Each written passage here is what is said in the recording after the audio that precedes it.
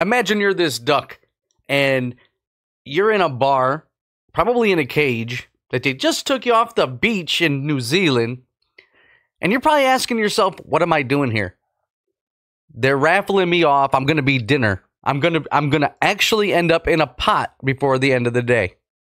Right? But no. Some marine, some leatherneck devil dog wins you in a poker game or raffle, whatever it is, and saves your life. I mean, look where you go from there. You end up fighting a rooster, fighting a duck, becoming a mother, then retiring, not to mention all of the beer you get to drink and all the women you get to meet. Hey, what is going on, guys? Thanks for coming back to the channel. Check this one out The Fat Electrician. He just came out with a new video, The Devil Duck. This one is about when the Marines took a duck into battle for World War II. I'm excited to see what this one is about. But before we jump into the video, make sure you hit subscribe, ring the bell, hit that like button, do all that necessary stuff to help me in the algorithm. So let's get into this video. This is probably the most Marine Corps story I've ever heard in my entire life, and there's absolutely no way that it's been embellished. Like a lot.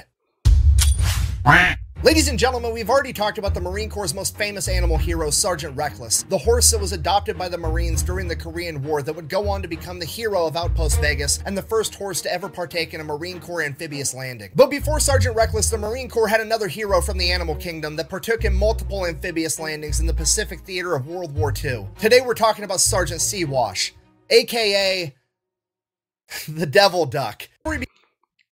Okay. First, let's talk about this. Leave it to the Marines to name this thing the Devil Duck. I mean, it, it only makes sense, right? The Devil Duck, the Devil Dogs. Of course, they have a Devil Duck.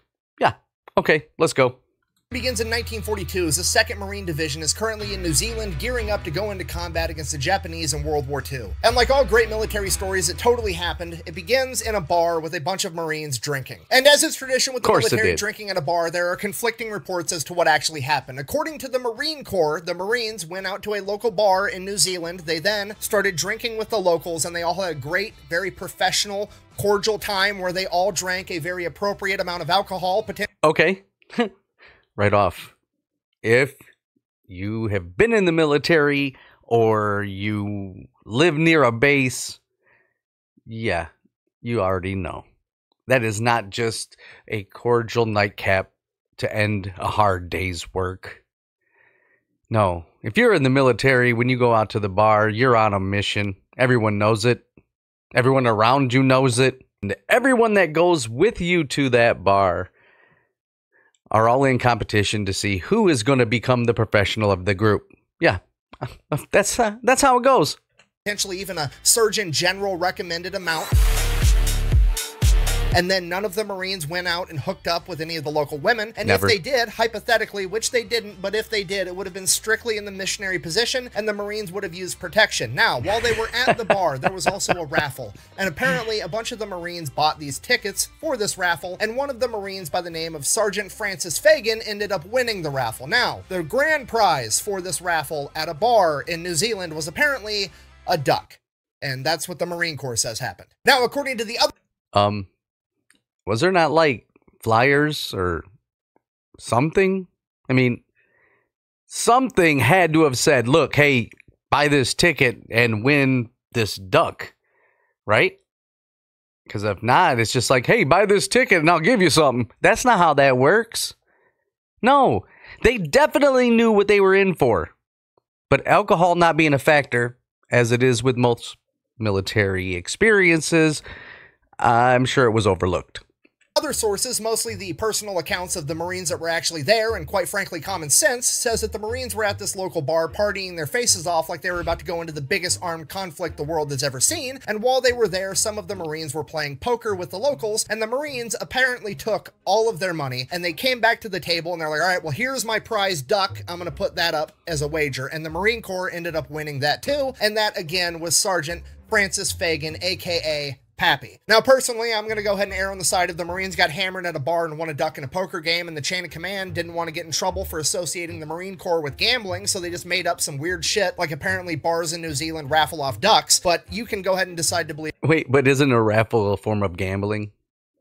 I'm I'm just asking. I mean, isn't it? whatever you want. Regardless, either way, Francis Fagan, and by extension the Marine Corps, now has a duck. So what are the Marines going to do with a duck? Obviously, they take it under their wing. I'd like to apologize to the internet for making you a dad. I mean, to be fair, that is true. I kind of turned her into a bodybuilder for like 18 months between the two kids. Wow. Interrupting my history time. Sorry about that. Anyways, the Marines pretty much immediately teach this duck how to drink beer, which I know oh, what you're yeah. thinking. That's probably not very healthy for the duck, but to be fair, there are worse vices to have. I mean, he could get addicted to quack. I'm, I'm sorry. I'm done. Okay, I'm done with the dad jokes. That joke was foul.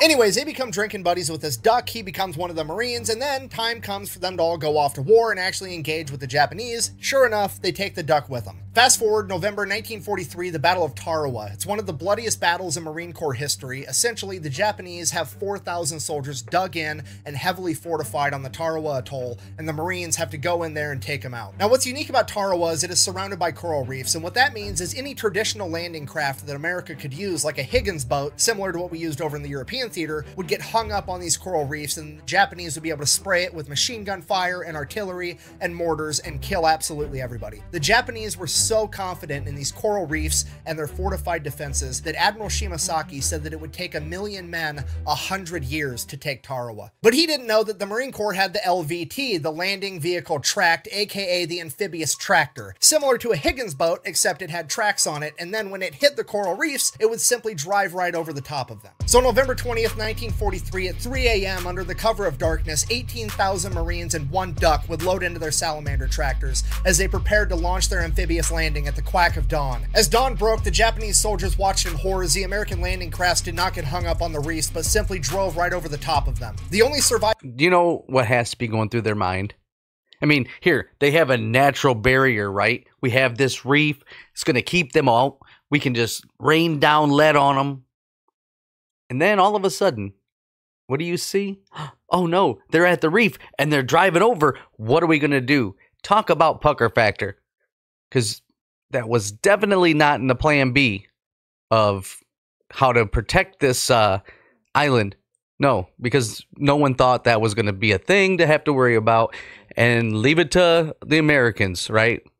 We always think outside the box surviving Japanese officer from this battle, Kiyoshi Ota, would later go on to write, We could see the American landing craft coming towards us like dozens of spiders over the surface of the water, as one of my men exclaimed, The gods of death have come. As the Marines reached the beach, they would become pinned down from heavy machine gun, artillery, and mortar fire. They were only able to secure the first 70 yards of the beach after hours of combat. It is at this point that the Marines' front line was charged by an enemy rooster, and Sergeant Siwash charged past the Marine line to meet the chicken in winged combat in the middle of the battle. Yo, that's some foul play.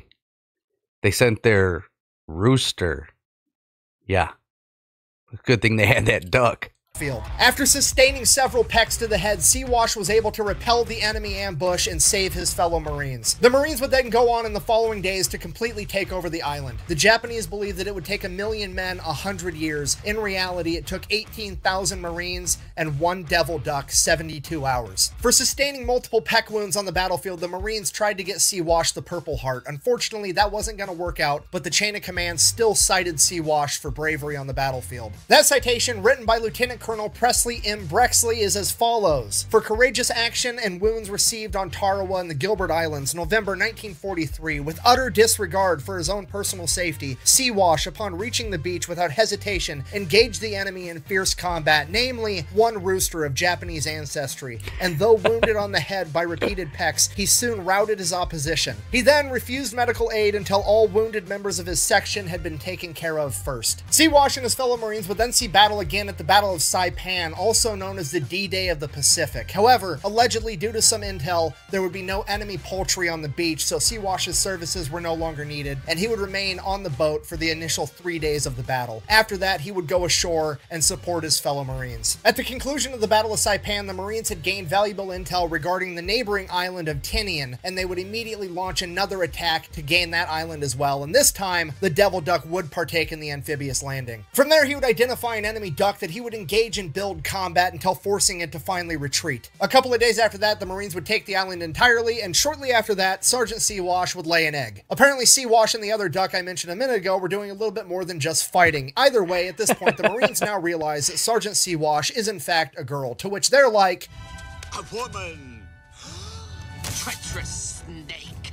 Just kidding, they didn't actually care. In reality, they were probably giving each other a hard time, like, alright, who did it? Fess up.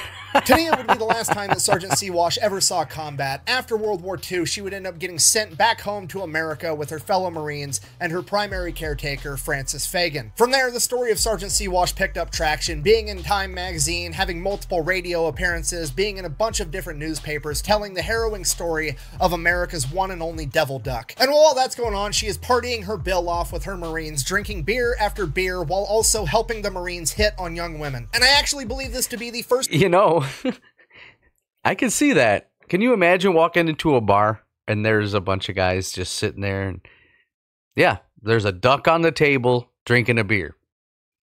You're going to have questions. Everybody's going to have questions. Yeah, that's totally a thing.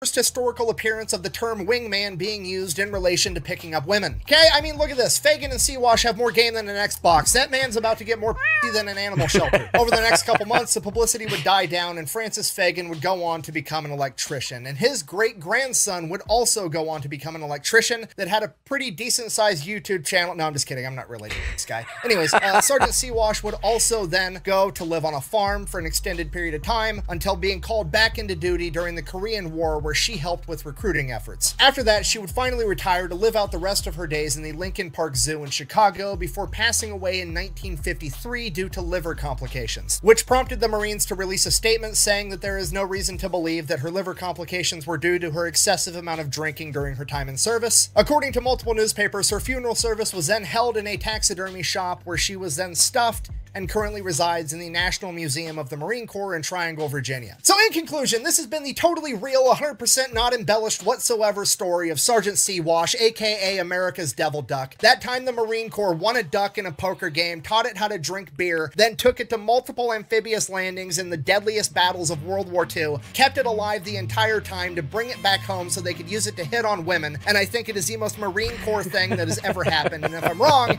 you can tell me down below, and if your story's better, I'll do a video on that too. Thank you for watching. Best way to support the channel is go buy some merch over at thefatelectrician.com. Quack bang out.